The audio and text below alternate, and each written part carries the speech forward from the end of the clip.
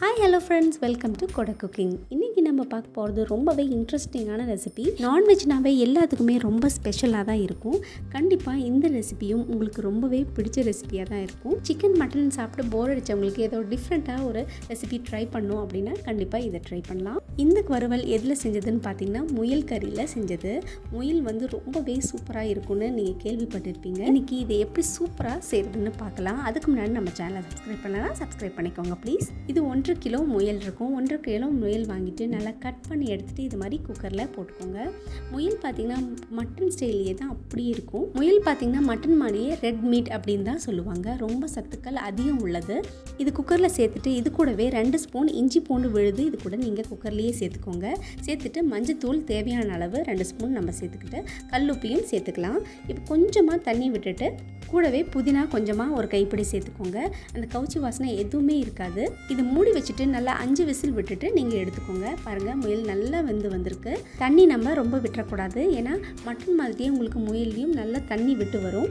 இப்போ கடாயில் ரெண்டு டேபிள் ஸ்பூன் எண்ணெய் சேர்த்துட்டு பட்டை கிராம்பு ஒரு ஸ்பூன் சோம்பு கூடவே சேர்த்துக்கோங்க.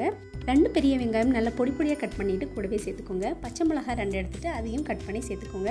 கூடவே கொஞ்சமாக உப்பு சேர்த்துக்கோங்க. நல்லா வதங்கி வரும். பாருங்கள் வெங்காயம் இது மாதிரி நல்லா வதங்கி வரும். வதங்கி வந்ததுக்கப்புறம் ரெண்டு பெரிய சைஸ் தக்காளியை இது மாதிரி கட் பண்ணி இது கூடவே சேர்த்துக்கோங்க. வெங்காயம் தக்காளி நல்லா வதங்கி வந்ததுன்னா கிரேவியோட டேஸ்ட் கன்சிஸ்டன்சி எல்லாமே ரொம்பவே சூப்பராக இருக்கும். இப்போ பாருங்கள் வெங்காயம் தக்காளி ரெண்டுமே நல்லாவே இது மாதிரி வதங்கி வந்துருச்சு. இப்போ முயல் கறியை இது கூட நம்ம சேர்த்துக்கலாம். சேர்த்துட்டு நல்லா வதக்கி கொடுங்க. பார்க்குறப்பே தெரியும் உங்களுக்கு முயல் நல்லா வெந்திருக்கு. கூடவே அரை ஸ்பூன் மஞ்சத்தூள் சேர்த்துக்கோங்க. ஒரு ஸ்பூன் கரம் மசாலா சேர்த்துக்கோங்க. ஒரு ஸ்பூன் சாம்பார் மிளகாய்த்தூள் சேர்த்துக்கோங்க. ஒரு ஸ்பூன் வரமிளகாய்த்தூள் சேர்த்துக்கோங்க. சேர்த்துட்டு இது எல்லாத்தையுமே நல்லா கலந்து கொடுங்க.